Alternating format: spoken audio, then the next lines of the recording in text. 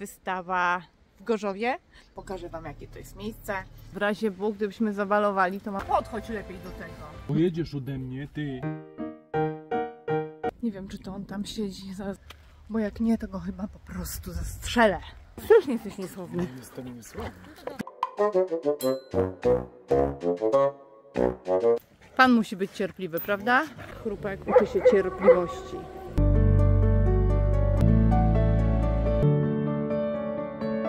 Będzie piękny dzień. Ty jesteś mój bohater.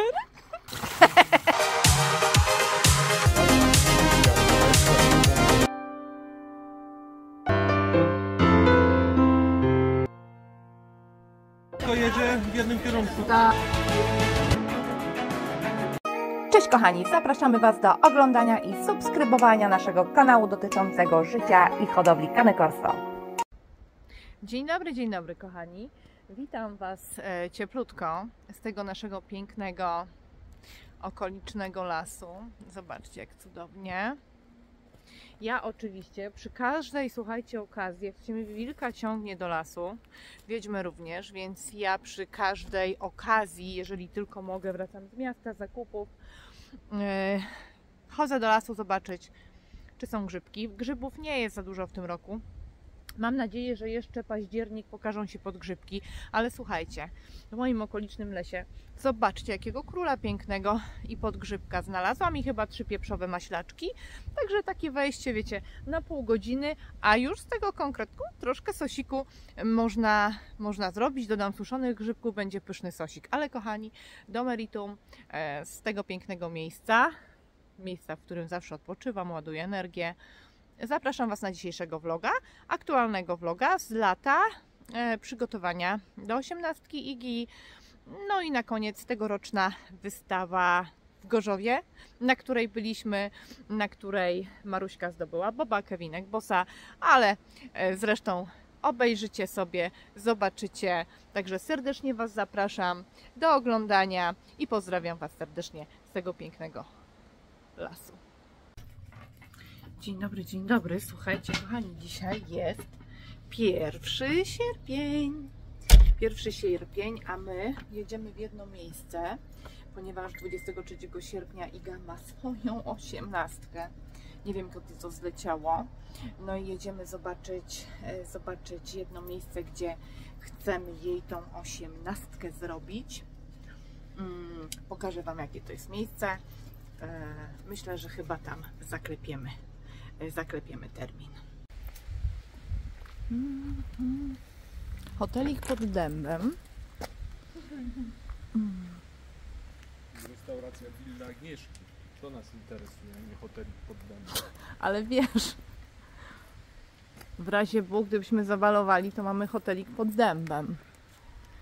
No idziemy, zobaczymy. Tutaj też jest przecież pensjonat. No jest, jest.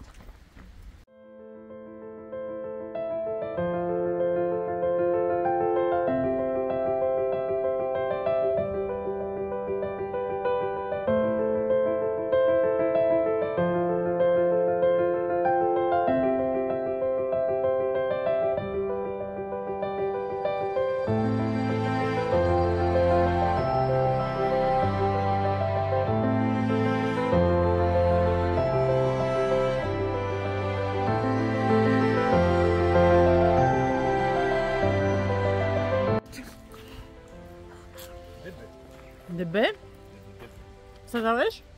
Staś. No to nie bój się. Ale ty jesteś cykor. No wsadź tam głowę. Ja nie mogę w takich rzeczach przebywać. No wsadź tam głowę. Dłoni nie przepchnął.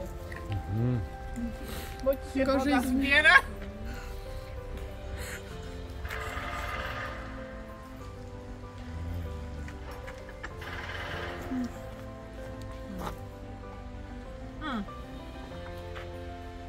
Co, tu ucinało? Nie, co to było w ogóle? No za karę się siedziało.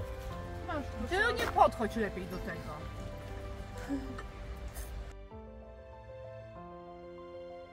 Jest twoje czas. I co? I ty, ty, ty. Ajajaj, no co? Jedziesz, tak? Pojedziesz już? Pojedziesz ode mnie, ty. Ty. Gwiazdor, pojedziesz ode mnie, ty. Daj, daj, daj, już tu daj, tutaj przepniemy na drugą stronę. Daj, przepniemy.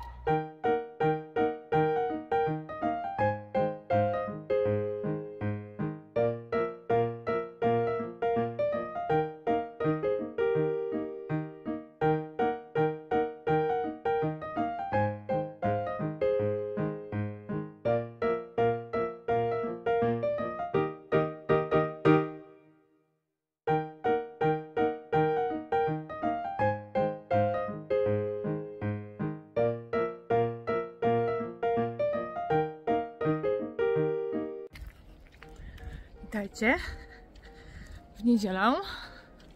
Nie pytajcie, który? Czwarty może? Piąty? Nie wiem. Szukam właśnie mego Sławomira, bo poszedł z chrupkiem na spacer i szczerze to nie wiem, gdzie on jest. Mm. Ponoć tutaj gdzieś spaceruje, bo jest u nas chrupek, snajper. Przyjechał na weekend przed swoim wypoczynkiem u nas, bo przyjedzie jeszcze do nas na dłużej w sierpniu. Nie wiem, czy to on tam siedzi. Zaraz głupa z siebie zrobię. Zaraz zobaczę.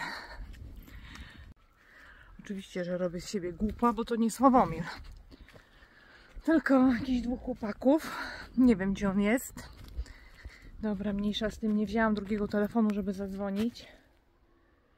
Yy ale od razu rozejrzę się, czy jakieś grzybki są. Oj, ten Sławomir. Nie wiem, gdzie on jest. Poszerzają tutaj drogę. Będzie chyba droga dojazdowa, bo tam yy, widzę, że trwają wykopy i podejrzewam, że będą jakieś znowu domki albo pod wynajm. Coś mi się tak wydaje, bo wiecie, że teraz każde skrawek ziemi jest na wagę złota. Ach, widzicie? Jak wszystko rozkopane. No i takie ładne drzewka były. Była taka fajna, klimatyczna ścieżka. I już jej nie ma. Znaczy jest, ale nie taka klimatyczna. Dobra, przyszłam. Zadzwoniłam. Sławomir po prostu ma tempo jak diabli. Poszedł gdzieś do góry, do lasu. Więc idę jeszcze raz, bo chciałam nagrać chrupka, bo on jest taki ładny. Więc chcę go nagrać. Idę jeszcze raz. Zobaczcie, sierpień, a u nas co? Zostań z nami świętym Mikołajem. No, także lecę jeszcze raz. Powiedziałam mu, spotykamy się na Leśnej. Mam tylko nadzieję, że się spotkamy. I że mam nadzieję, że się spotkamy i że Sławomir poczeka na mnie na Leśnej. Bo jak nie, to go chyba po prostu zastrzelę. Zastrzelę. Bo nie mam ze sobą telefonu. Bo mi się ładuje, a tym co nagrywam, to nie mam w nim, w nim karty. Jest tylko do nagrywek. Tak to się można po prostu nalatać. Ojku. Zobaczymy, czy go spotkam. Ja mam, słuchajcie, bardzo, ale to bardzo wyczulony zmysł powonienia. Więc idąc już przy lesie, czuję grzybnie. Po prostu czuję zapach grzybów, tylko ich nie widzę, ale czuję to. Czuję to i w ogóle już czuję jesień. Niektórzy się śmieją sierpień, ale faktycznie ja przesilenie wiosenne odczułam już w lutym, a przesilenie jesienne już z końcem lipca i w sierpniu. I tak mam, słuchajcie, od zawsze. To nie jest to, że teraz mi się to stało. Nie. Zawsze tak miałam, tylko jeszcze kiedyś jak nie interesowałam się wieloma rzeczami, to mm, nie wiedziałam, że to jest to. I że to można tak odczuwać. Ale teraz już wiem. Zobaczymy, czy teraz Sławka spotkam. Ja na razie go nie widzę. Nie sprecyzowałam, gdzie się spotkamy. Ale mam nadzieję, że do jasnej ciasnej on się domyśli i nie będzie na mnie czekał gdzieś tam z tyłu na rogu, tylko na ulicy Leśnej. Najlepiej, gdyby na mnie czekał na ławeczce. Kurde, jest. Nie, to tych dwóch chłopaków. Ja zwariuję. Nie, jest, widzę go. Za tymi chłopakami. Idzie. Idzie tam daleko.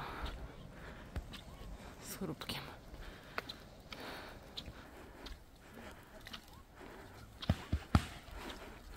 No kuźwa jesteś. Ja to maratony zrobię przez ciebie z moją piętą, wiesz? Co zrobisz? No Kryśka przyszła i mówi, że ty poszedłeś na leśną. Mówię, znów mi nie powiedziałeś. A miałeś powiedzieć. No, jesteś po prostu strasznie niesłowny. Ja muszę go pierw okiełznać. Strasznie jesteś niesłowny. Jestem niesławny. Ta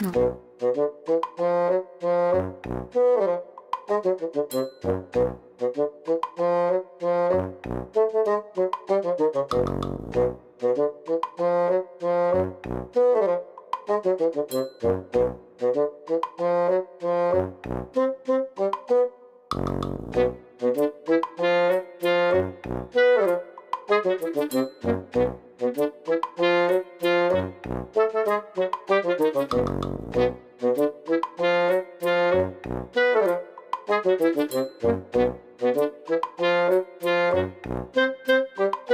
cierpliwość.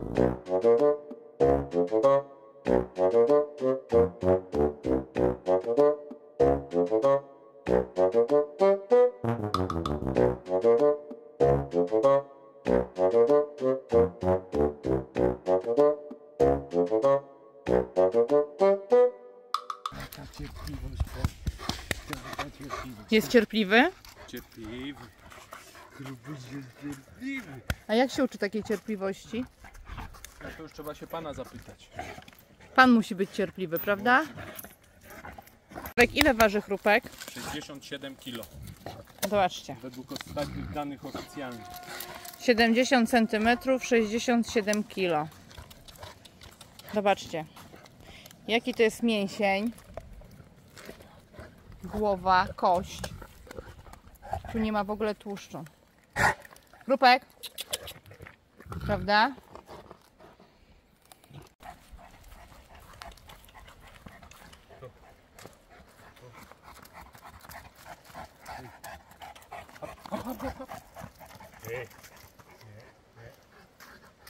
Chrupek może na wystawę pojedzie. Chociaż chrupek nie ćwiczy, ale Sławomir powiedział, żeby go wystawił. stój, stój. Stój, stój, Tylko ogonek, nie? Stój. Stój ładnie. Stój. Jest okej. Stój. Stój ładnie. Stój. Stój. Stój.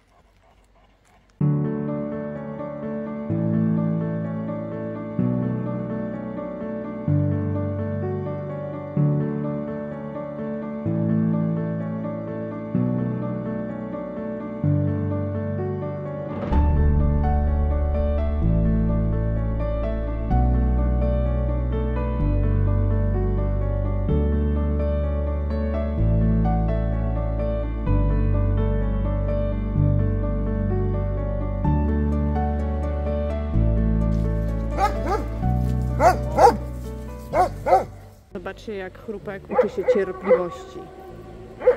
Jest to pies, który lubi odpalić się do innych psów. Tutaj macie owczarka w bardzo bliskiej odległości.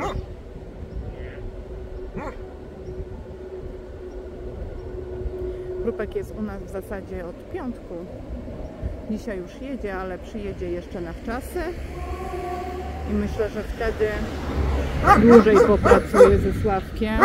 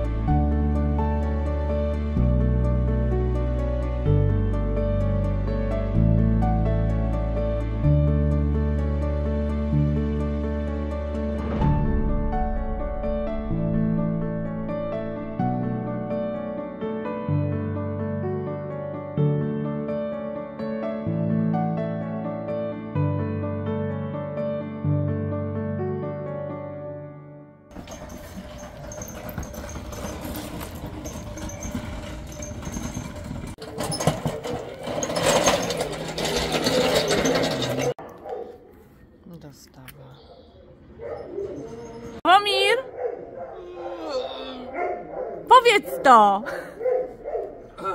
Powiedz to! Ej! Powiem ci tak. Powiedz, to będzie piękny dzień! Będzie piękny dzień. Super będzie! Będzie, będzie. Samy pozytywni, bo się od rana to jakieś takie mymłony! To będzie piękny dzień! Powiedz to głośniej! Mogę wskoczyć na górę? Powiedz to głośniej! Bo taki będzie! Będzie, będzie. Powiedz głośno! Wyrzuć to z siebie! Nie patrz na sąsiadów, ale jeszcze nie masz progresu! Nie mam. To powiedz to! Będzie piękny dzień. E, to ta, umiesz głośniej. Sławuś, odpalam ci basen. Czemu tu tak kurde przelewa się? Masz coś do mnie? Ja jestem blondynka. Boże, to mój mąż. Ja nic tu nie... Przelewało się. Przelewa tu się w żołądku. Przelewa się? Nie. Jaki ty jesteś mój bohater? Szasz tu. Co ty robisz?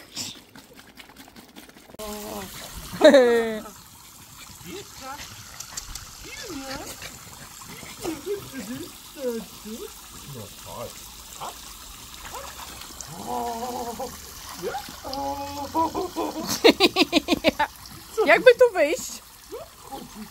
Opa!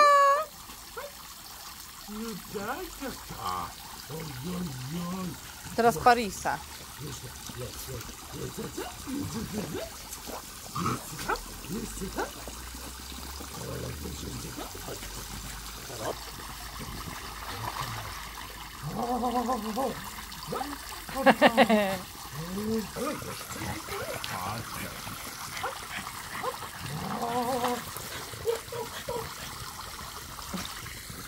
Ściekła. Idź się wysuń.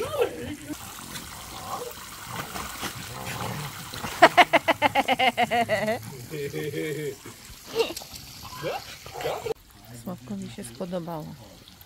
Wiedziałam, że mu się spodoba.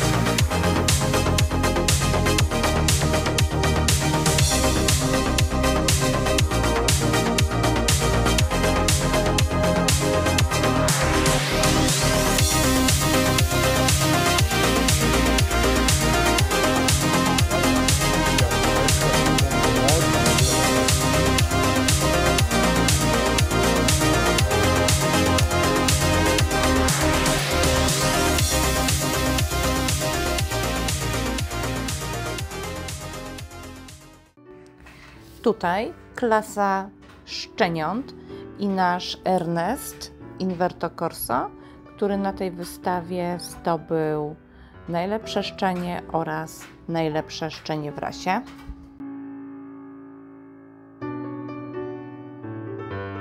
Tutaj możecie zobaczyć nasz Steam, tu Dominika oraz Marcelina z narzeczonym i siostrą. Nieodłącznie nasi przyjaciele. Tutaj klasa pośrednia i kawaler Rokita Inverto Corso. Rokita w klasie pośredniej zdobył złoto, wniosek CWC oczempiona. Brawa dla właścicieli.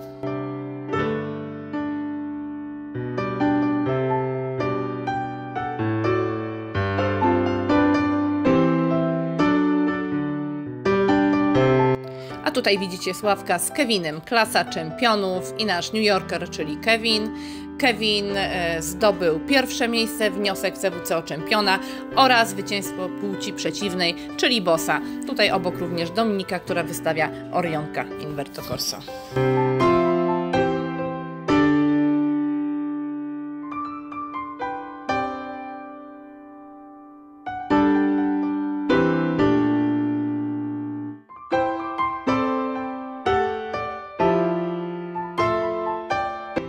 Tutaj e, porównanie o najlepszego dorosłego psa.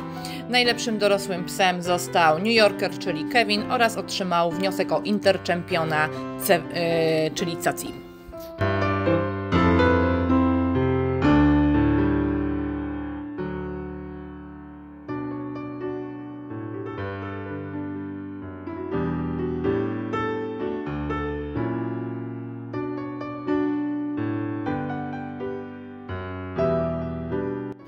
Tutaj dwie siostry, Phoebe i Farah Inverto Corso, które razem będą występowały w klasie szczeniąt. Tym razem pierwsze miejsce zajęła Phoebe, została najlepszym szczenięciem, a w porównaniu z Ernestem, Ernest wygrał o najlepsze szczenie w rasie. Dwie siostry zaprezen- zaprezentowały się rewelacyjnie, z ocenami wybitnie obiecującymi. Także brawa również tutaj dla Sandry i dla Fary.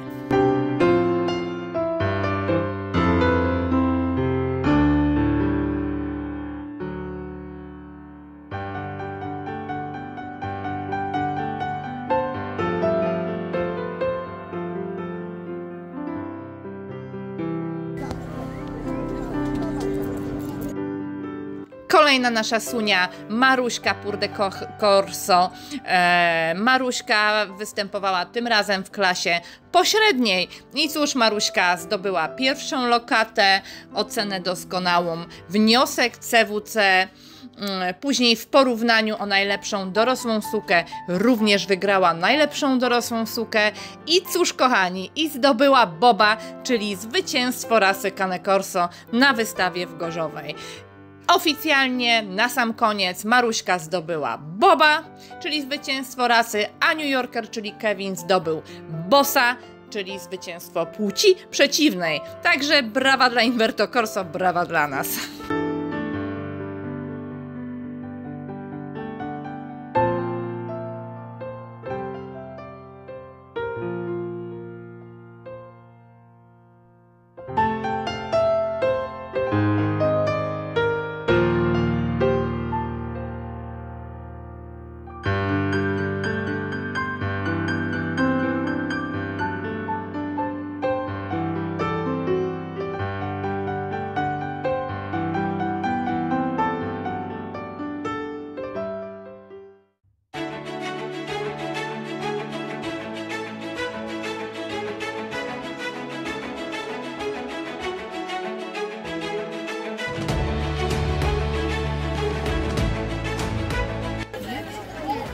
Masz swój statyw? Za Boba, Bossa i w ogóle. Całą resztę. Za całą resztę również. Fajne. Z bulldogiem. To jak kiedy na jakimś medalu zrobię? My zrobimy. Jak założymy stowarzyszenie. Ale z Polski będzie? Nie wiem właśnie. Za super wystawę. Yo, yo, yo. Musimy sobie jakiś Zobaczcie ile, ale słuchajcie, zobaczcie ile dzisiaj było różnych wystawców, a wszystko jedzie w jednym kierunku. Tak, zachodnia Polska.